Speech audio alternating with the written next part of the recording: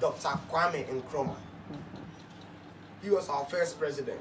He was a Ghanaian, but he couldn't get married to a Ghanaian woman. No, but rather an Egyptian, known to be Fathia. So, Ghanaians were asking Nkrumah that you are the first president of Ghana. Why don't you get married to a Ghanaian woman? But the man said he wants to establish unity among other nations. So as I'm speaking, though Nkrumah is no more, Fathia is no more, but Ghana and Egyptians, we are having that cordial relationship. So the history or the significance behind this club talks about avoiding racism. Whether black, whether white, whether an American, whosoever, we are all one person with a common destiny.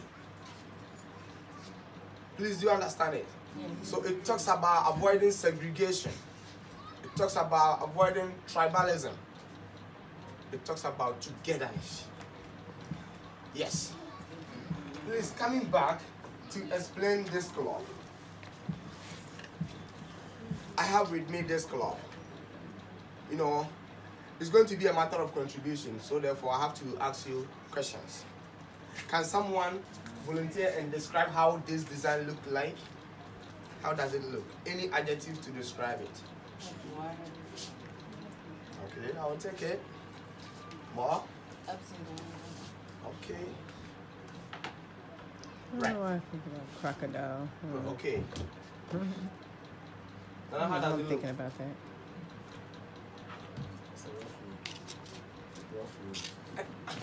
Okay, I will just take it. For me, it looked like zigzag. Yes, zigzag. Mm-hmm. Rough road. Mm-hmm. So